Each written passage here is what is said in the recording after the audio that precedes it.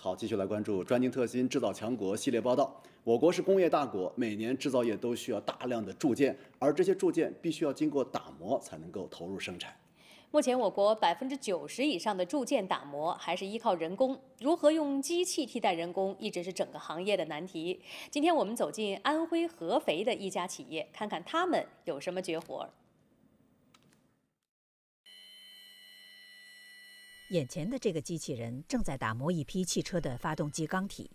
在火花四射中打磨着铸件每个角落的毛刺。他的手臂又粗又壮，但工作起来却格外灵活。可以替代人工在危险脏乱的环境下工作。当年到客户的打磨现场去看，现场的粉尘特别大，噪音也很大，容易产生安全的风险。这种脏乱差的工作环境啊，工厂招不到人。早在二十年前，我国企业就开始进口国外的打磨机器人替代人工，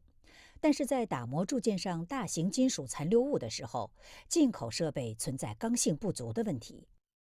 我们现在相比于传统的这种机器人呢，它的轴数会少，同时呢，让机械臂做短做粗，增加刚性。传统机器人的负载像这一款的话，它是在二百一十公斤，但是我们设计的这一款四百公斤级的刚性。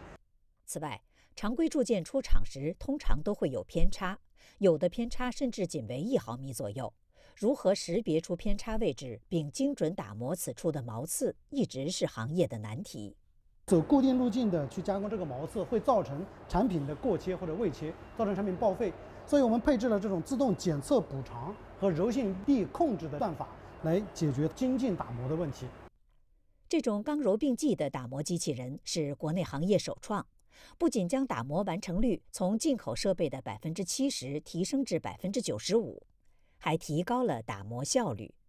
目前这家企业生产的打磨机器人市场占有率全国第一。全球第二，本期专精特新绝活，干得了粗活，磨得了细梁，刚柔并济的打磨机器人挥起粗壮手臂，较近于毫厘之间，磨出铸件新生命。